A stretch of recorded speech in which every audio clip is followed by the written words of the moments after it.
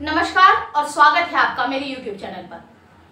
15 अगस्त 2022 को जिस वक्त हम और आप मिलकर आज़ादी का अमृत महोत्सव मना रहे थे और अपने अपने घरों में बैठकर माननीय प्रधानमंत्री नरेंद्र मोदी जी का भाषण सुन रहे थे, उस अपने भाषण में प्रधानमंत्री मोदी ने एक बात कही थी कि अपने अंदर महिलाओं के लिए अपनी भावना को स्वच्छ रखिए, साफ़ रखिए।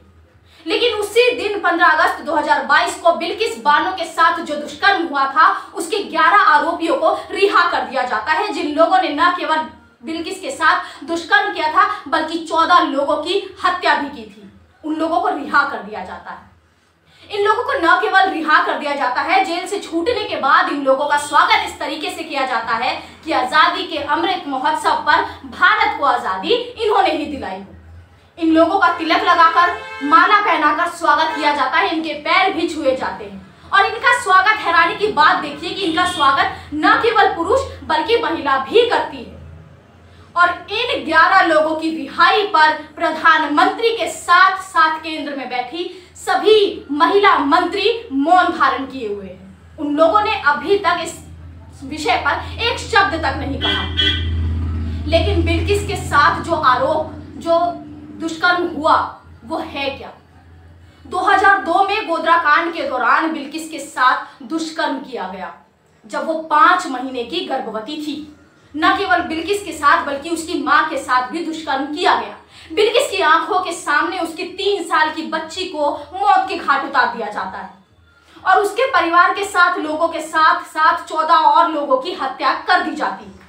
लेकिन अब सवाल ये उठता है कि इन ग्यारह लोगों को आखिर रिहाई दी क्यों गई? इन लोगों की रिहाई पर बीजेपी के विधायक, बीजेपी के विधायक सी के राउत जी का कहना है कि ये सभी लोग ब्राह्मण हैं और ब्राह्मण के संस्कार बिल्कुल अच्छे होते हैं। और इन ग्यारह लोग जो ब्राह्मण हैं, इन लोगों के संस्कार आपके सामने है कि इन लोगों ने बिल्किस बानो के साथ, उसकी माँ के साथ और इन, किन लोगों को मौत के घाट उतारा है, इन ब्राह्मण के संस्कार आपके सामने हैं। इतना ही नहीं, गुजरात सरकार का ये कहना है कि जेल में इन लोगों के जो चाल चलन थे, जो इन लोगों का व्यवहार था, वो काफ़ी ज़्यादा अच्छा था, जिसको देखकर हमने ये फैसला लिया है कि इन लोगों को रिहाई दी जानी चाहिए। अब उम्र कैद की जब सजा हुई है तो इस पर कानून क्या कहता है कि इन लोगों को रिहाई मिलनी चाहिए या नहीं मिलनी चाहिए? इन लोगों को नहीं, बल्कि किसी को भी अगर जेल हो जाती है तो उन लोगों को उम्र कैद की सजा होती है तो उस पर कानून क्या कहता है, ये समझते हैं। अगर किसी को उम्र कैद की सजा होती है तो उस पर कानून ये कहता है कि यदि व्यक्ति ने, यानी कि कैदी ने, आरोपी ने 14 साल की सजा काट ली, उसके बाद वो अपनी रिहाई के लिए अपील कर सकता है। उस अपील के दौरान ये देखा जाता है बाकायदा कि उसका जो व्यवहार था जेल में, वो किस तरीके का था। उसने जो भी पाप किया है, उस अपराध के प्रकृति की समीक्षा की जाती है और उसके बाद ये फैसला लिया जाता है कि उसकी रिहाई करनी है कि नहीं करनी। और अगर करनी है तो कैसे करनी है? या फिर अगर उसकी सजा कम करनी है तो उसकी सजा कितनी कम करनी है? ये सब देख कर किया जाता है। लेकिन ध्यान रहे कि ये सब छोटे अपराध में किया जाता है। संगीन अपराध में नहीं। और इन लोगों की रिहाई से ये पता चलता है कि चौदह लोगों की हत्या और बिल्किस बानो और उसकी माँ के साथ किया गया दुष्कर्म कोई भी संगीन अपराध नहीं है। इन लोगों के लिए तीन औरतों ने सुप्रीम कोर्ट में पीआईएल दर्ज कर सुप्रीम कोर्ट को चुनौती दी है। इन लोगों का कहना है कि जो भी इन लोगों की रिहाई की गई है, वो बिल्कुल भी जनहित में नहीं है। इन लोगों की रिहाई नहीं होनी चाहिए और इन लोगों की गिरफ्तारी जल्द से जल्द दोबारा की जानी चाहिए। इन लोगों का कहना है कि ये लोग, ना कि इन लोगों का कोई इरादा नहीं है कि ये सुप्रीम कोर्ट के फैसले पर कोई सवाल उठा रहे हैं, बल्कि जो तर्क और आधार दिया गया है कि चौदह लोगों की हत्या और बिल्किस के रेप कांड में जिन लोगों की रिहाई की गई है, वो रिहाई किस बदौलत पर की गई है? इन लोगों का बस इतना सा सवाल है। और इन लोगों का कहना है कि इन लोगों की जल्द से जल्द गिरफ्तारी हो जानी चाहिए। ये तीन औरतें जिन्होंने याचिका दर्ज की है, वो है सीपीएम की नेता व सामाजिक कार्यकर्ता सुभाषिनी अली, पत्रकारिता से लेखिका बनी रेवती लाल और मानवाधिकार और सामाजिक कार्यकर्ता रूपरेखा वर्मा।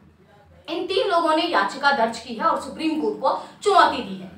सीजीआई एनवी रमन्ना की बेंच पे जो अगुवाई होती है उन्होंने याचिकाकर्ता की वकील वकील से पूछा तो उन्होंने कहा कि, कि उन्होंने ये सवाल पूछा कि सजा का छूट का फैसला सुप्रीम कोर्ट के आदेश पर हुआ है या नहीं हुआ है? ये आखिर ये फैसला किस तरीके से लिया गया है? तो इस पर सीनियर एडवोकेट कपिल सिब्बल का कहना है कि जस्टिस अजय रस्तोगी की अगुवाई वाली बेंच ने कहा है कि सजा सुनाते समय सजा माफ़ी से जुड़े जो नियम थे, वो इन 11 लोगों पर लागू होते हैं और उस बदौलत इन लोगों की रिहाई की गई है। बिल्किस के इस केस में जब बिल्किस को दोबारा हाथ में सिर्फ़ और सिर्फ़ ना इंसाफी लगी है उस दौरान अपराध को नजरअंदाज करते हुए चौदह लोगों की हत्या और बिल्किस और बिल्किस की माँ के साथ किए गए दुष्कर्म को नजरअंदाज किया गया है। तो क्या इसमें इन ग्यारह लोगों की, इन ग्यारह ब्राह्मण की रिहाई उचित है? मैं एक बात कहना चाहती हूँ कि इस दुनिया में आदमी की मौत से बड़ा कुछ भी नहीं है। न ईश्वर, न ज्ञान और ना ही चुनाव। अभी के लिए सिर्फ़ इतना ही। तब तक के लिए धन्यवाद।